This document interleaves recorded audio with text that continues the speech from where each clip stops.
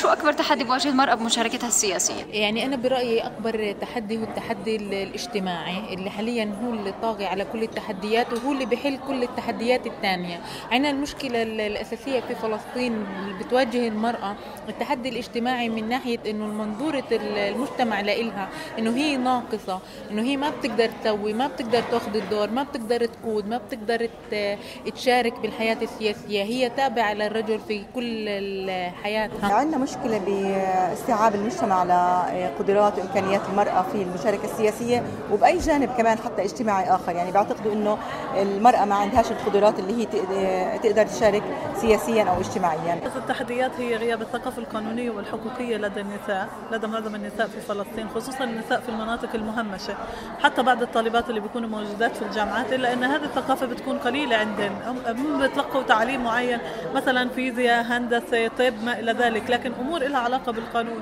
أو أمور لها علاقة بحقوق الإنسان ثقافة الخاصة بالنساء نفسهم حقوق النساء واللي واحدة منها بالتأكيد المشاركة السياسية والمشاركة في الانتخابات هي غائبة. المجتمع بشكل عام هو مشحف بحق المرأة بكل المجالات وخصوصا بالمجال القانوني اللي هو عنده الذكر أهم من الأنثى والذكر هو اللي مفروض يكون بالمناصب السياسية العليا ويكون هو اللي ينجح في الانتخابات ضد المرأة. أكبر تحدي عندنا بالمجتمع هي العقلية الذكورية الأبوية. المجتمع الرجعي لسه التخلف يعني.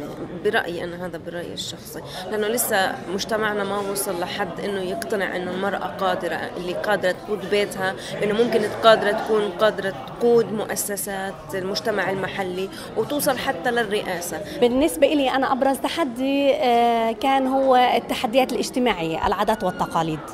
البيئة النمطية الموروث النمطي اللي إحنا بنتربى عليه. إنه المرأة كيف المرأة بدها تنزل في ميدان العمل السياسي؟ تنزل مثلها مثل الرجل تتأخر في اجتماعاتها كعضوة في مجلس البلدي. هذا كان شوية تحدي خلال التجارب وخلال المشاركات مع النساء. كان هذا تحدي كبير لأنه العادات والتقاليد هي بتيجي بعد الحلال والحرام. بيجي عندنا العادات والتقاليد مباشرة ويمكن في بعض المناطق تطغى العادات والتقاليد على الحلال والحرام.